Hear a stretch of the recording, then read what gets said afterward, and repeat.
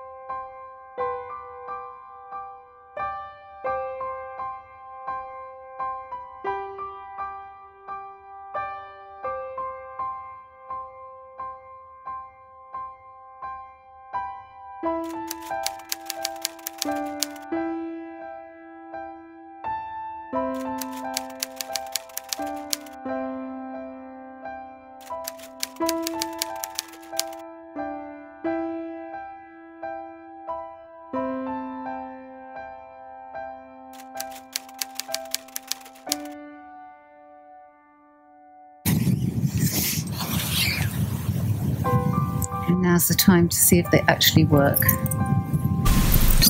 They work beautifully. Look at that. Oh my goodness.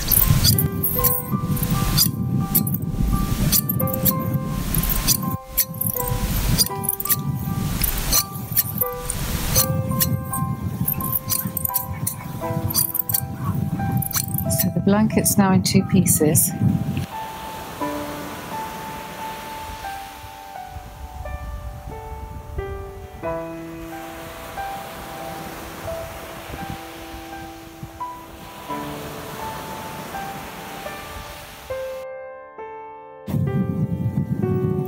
I'm beginning to get a sense of what to do.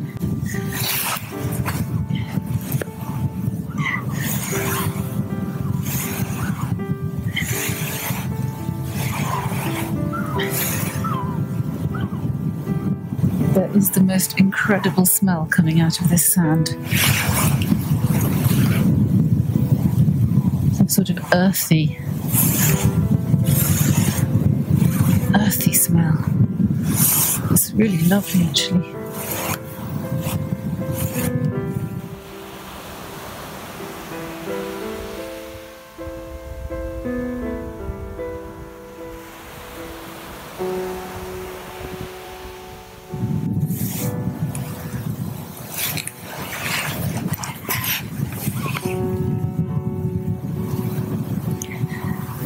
And when I thought about doing this, I thought about all the times I played in the sand as a child and not known about this history.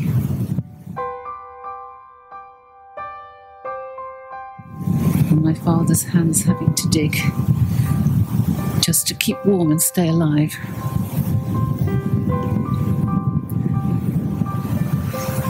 And the way way that he wasn't able to talk about it, and he might even be sitting on the beach with us, having some sort of flashback. Got quite a long but shallow hollow for my blanket. I'm going to keep digging a little bit more, but I want to make it really smooth and beautiful. I don't feel like I'm burying something, even though physically I am. I feel like I'm enacting something, but in a peaceful way. This is a ritual of some sort.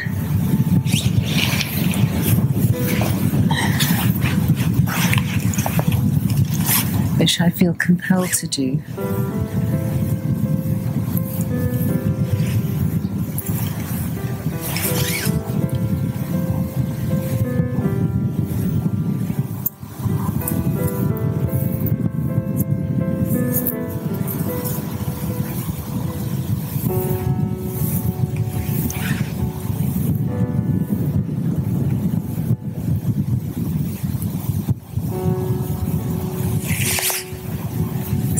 Going to try and do is cover it all and just leave the seam on one side exposed.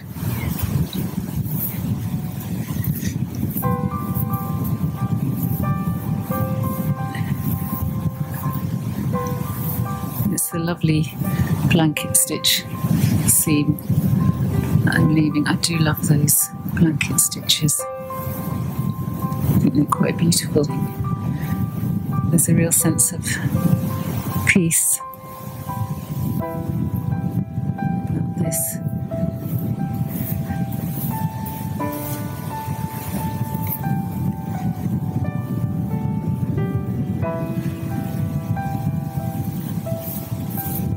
I'm trying to get it evenish.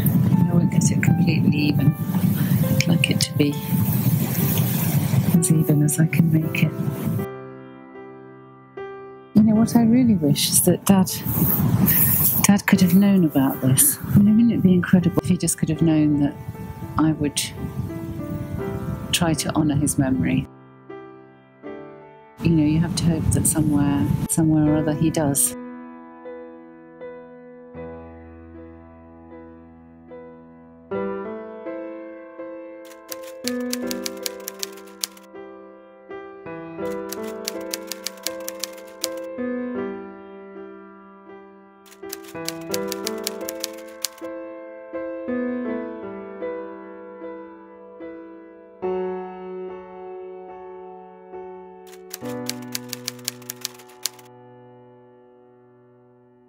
Música